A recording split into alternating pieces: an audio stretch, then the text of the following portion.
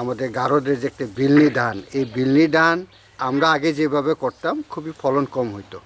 কিন্তু কৃষি জীবনাশী এবং বাংলা কৃষির মধ্যে ওনারা যেভাবে দেখে আছেন, এতে দেখা যাচ্ছে যে আমরা অনেক ভালো ফলন লাভ করি।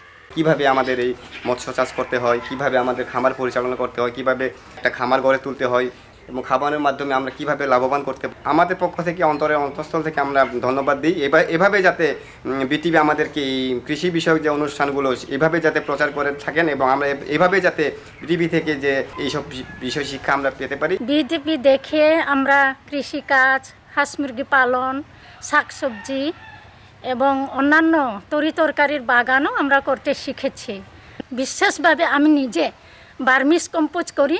আমার শাকসবজিতে কোনো বিষ আমি ব্যবহার করি না, রাসায়নিক সারও আমি ব্যবহার করি না, কারণ আমি এটা শিখে নিয়েছি।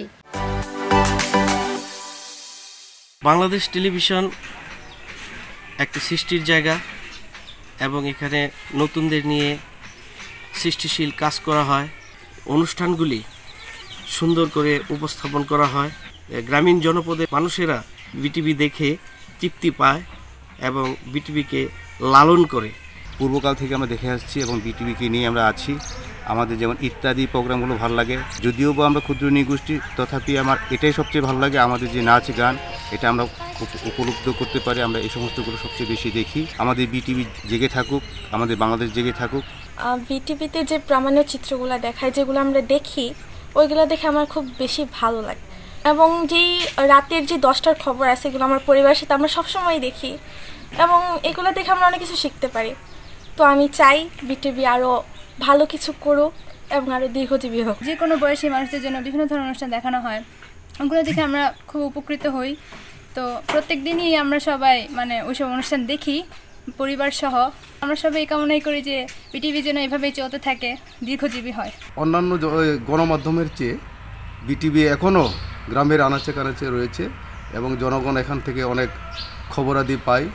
ক্ষুদ্র নিগোষ্ঠীর সদস্য।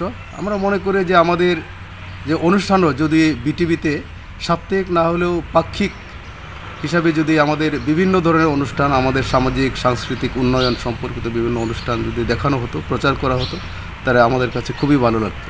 বিশেষ করে আমাকে খুব আকর্ষণ করে বিটিভির আর্কাইভস থেকে যে সমস্ত সম্প্রচার হয়, বিশেষ করে উনিশশো একাত্তর সনের যুদ্ধ এবং স্বাধীনতা যুদ্ধ এবং স্বাধীনতা সংক্রান্ত, ওই যুদ্ধ সংক্রান্ত যে সমস্ত ঘটনাবলী জাতির পিতা বঙ্গবন্ধু শেখ মুজিবকে নিয়ে যে সমস্ত ছবি আর্কাইভস থেকে দেখানো হয়, এগুলো আমরা বিশেষ করে অনেক আগ্রহ ভরে এখনও দেখে দেখে থাকি এবং মানে খুবই ভালো লাগে।